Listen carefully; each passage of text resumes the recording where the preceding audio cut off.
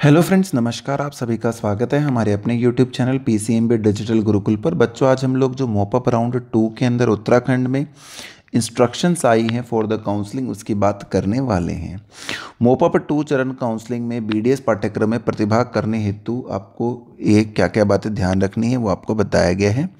Mop-up one में पंजीकृत ऐसे अभ्यर्थी जिन्हें प्रथम, द्वितीय मोपअप वन काउंसलिंग चरण में कोई सीट नहीं मिली है, वो यहाँ पर प्रतिभागी कर सकते हैं, यानी कि पार्ट ले सकते हैं।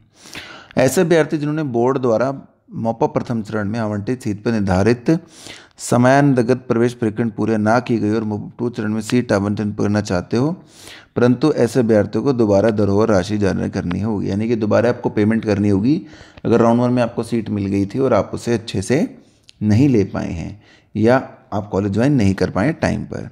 ऐसे अभ्यर्थी जिन्होंने प्रथम, द्वितीय मोपअप वन चरण काउंसलिंग पंजीकरण नया कराया हो, यानी कि फ़र्स्ट और सेकंड राउंड में अगर आपने रजिस्टर नहीं किया मोपअप राउंड के लिए, और आप आगे प्रतिभाग करना चाहते तो वो भी कर सकते हैं। कौन नहीं कर सकते? जिन अभ्यर्थियों द्वारा नीट यूजी उत्तराखंड राज्य केंद्रीकृत काउंसलिंग में सीट पर निर्धारित प्रवेश प्रक्रिया पूर्ण कर कर अपना प्रवेश सुरक्षित करा लिया गया, यानी कि जिन्होंने रिटेन कर ली अपनी सीट, वो नहीं आ सकते नेक्स्ट राउंड में। जिन अभ्यर्थियों द्वारा एमसीसी भारत सरकार की काउंसलिंग में कोई सीट मिल गई, वह भी नहीं आ सकते, एहर नहीं होंगे अलाउड नहीं होंगे। आवेदन प्रक्रिया क्या है बेटा? तो आवेदन करने के लिए आपको दो हज़ार रुपये की धनराशि ऑनलाइन प्रणाली से ही होगी, वो जमा करनी होगी।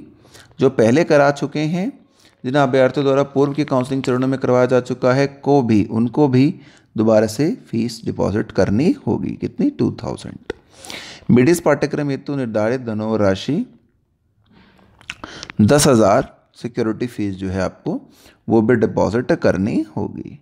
एक तो पंजीकरण है रजिस्टर्ड की और एक फ़ीस डिपॉजिट अनिवार्य है जिन अभ्यर्थियों द्वारा प्रथम, द्वितीय मोपअप वन चरण में काउंसलिंग में निर्धारित धरोहर और राशि या उससे अधिक की जमाएँ कराई गई है और उनकी राशि फॉरफिट ना हुई हो, यानी उन्होंने कुछ ऐसा काम नहीं किया, उनकी राशि जब्त ना हो गई हो, अगर वो भाग लेना चाहते हैं तो वह H N B U M U dot A C dot in पर जाकर स्वयं को काउंसलिंग हेतु पंजीकरण धनराशि जमा करवाते हुए पंजीकरण कर ऑनलाइन आवेदन अपलोड कर नवीन चॉइस फिलिंग करने उनको अनिवार्य होगी। अगर किसी की फ़ीस ऑलरेडी इससे ज़्यादा अमाउंट में डिपॉजिटेड और रिफंड नहीं हुई हो तो वो दोबारा चॉइस फिलिंग कर सकता है।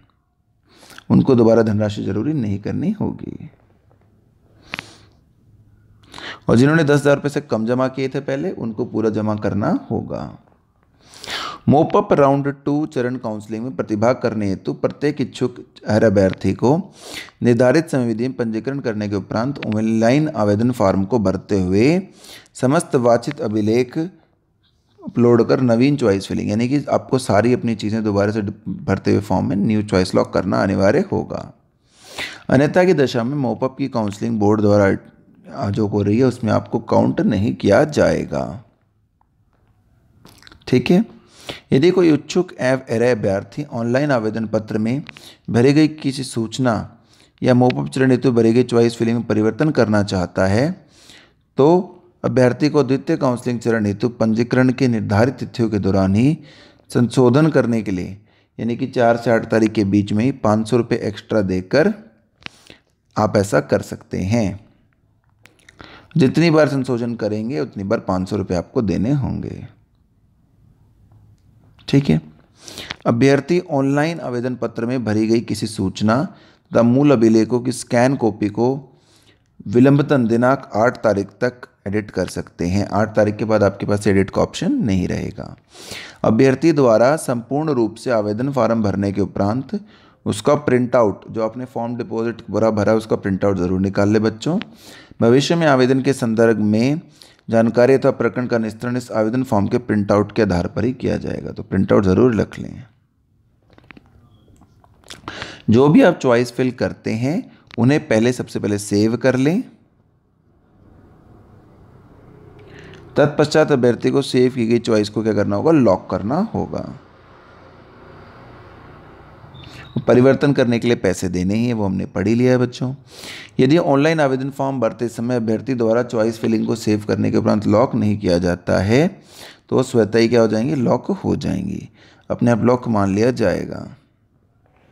और अगर सेव भी आपने नहीं किया अपनी चॉइसेस को तो फिर वो काउंट नहीं होगा बच्चों, जो भी आपने चॉइस फिलिंग की होगी। ठीक है, अभ्यर्थी ऑनलाइन आवेदन फॉर्म भरते समय चयनित कोटे के आधार पर चयनित उपलब्ध समस्त सीटों में से अपनी चॉइस के अनुसार जो भी आप क्रम भरना चाहें वो भर सकते हैं, जो भी आपको करना है। सीक्वेंस, वो आप कर सकते हैं। अतः अभ्यर्थियों को पुनः सलाह दी जाती है कि वह ऑनलाइन आवेदन फॉर्म भरते समय राज्य quota all India management quota के आधार पर चयनित उपलब्ध समस्त सीटों में से अपनी चॉइस के अनुसार जितने ज़्यादा से ज़्यादा सीटें हों वो ज़रूर फिल करें। और ये भी सलाह दी जाती है कि जो भी आप कॉलेज में एडमिशन ले रहे हैं, उसका बॉन्ड वगैरह सब कुछ पहले ही प्राप्त कर लें काउंसलिंग द्वारा मोपअप राउंड टू चरण में उपरोक्त अनुसार निर्धारित नियम, प्रक्रिया पंजीकृत होते अभ्यर्थी को उनकी मेरिट के आधार पर एडमिशन दिया जाएगा। समय सारणी जो है, वो एक अलग या डिफरेंट लिंक उसका अवेलेबल है, जो मैंने बता भी दी है आपको। सीट मैट्रिक्स जो है, वो भी अवेलेबल है, शुल्क विवरण भी अवेलेबल है। कि आप अपनी कॉलेज का शुल्क विवरण देख सकते हैं। उसके बाद सीट अपग्रेडेशन अगर हम बात करते हैं तो मोपअप चरण में किसी प्रकार का सीट अपग्रेडेशन यानी कि जो मिल गया, वो मिल गया, आप अपग्रेड नहीं कर सकते हैं। और जिन्होंने अब इस राउंड में एडमिशन ले लिया, वो आगे के स्ट्रे राउंड में पार्टिसिपेट नहीं कर सकते हैं। और सही जगह पर जाएँ। अगर आप सीट छोड़ना चाहते हैं तो क्या होगा? तो जो भी राशि आपने जमा की है, वो फॉरफिट कर ली जाएगी। पहली चीज़ तो ये होगी।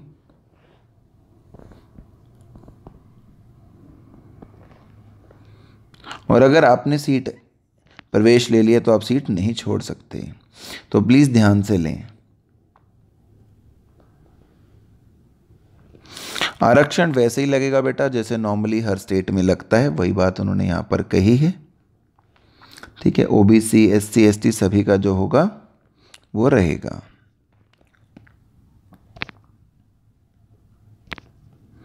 ओबीसी का पत्र जो आपके पास सर्टिफिकेट है, वो तीन साल तक वैलिड रहता है तो देख लीजिएगा, आपने अपना ओबीसी सर्टिफिकेट अपडेट करा लिया हो। डीपीडब्ल्यू कैटेगरी जो है, उसके लिए भूतपूर्व सैनिकों के आश्रितों व युद्ध में शहीद सैनिकों के पुत्र, पुत्रियों को ही अनुमाय होगा। ठीक है?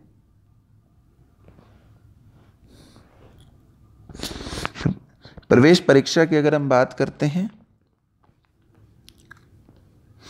तो जो भी आपको जहाँ भी एडमिशन मिलेगा, वहाँ जाकर आपको अपनी सारी फ़ीस डिपॉजिट करानी होगी। और स्ट्रे राउंड जो होगा, वो तो कॉलेज लेवल पर होगा ही। उसमें कोई फ्रेश रजिस्ट्रेशन नहीं होगी। कॉलेज को लिस्ट भेज दी जाएगी। आप, आपको पर्सनली कॉलेज की वेबसाइट जो है देखनी पड़ेगी। और उस वेबसाइट के हिसाब से आपको एडमिशन मिलेगा। बाकी शर्तों के लिए आप इन्फॉर्मेशन बुलेटिन देख लें। और इसी वेबसाइट पर और कोई इन्फॉर्मेशन होगी तो अपलोड की जाएगी। तो ये सारी इन्फॉर्मेशन मैंने आपको इंस्ट्रक्शंस बता दी है मोपअप राउंड टू की। Thank you so much for watching the video friends take care of yourself have a good day do subscribe our channel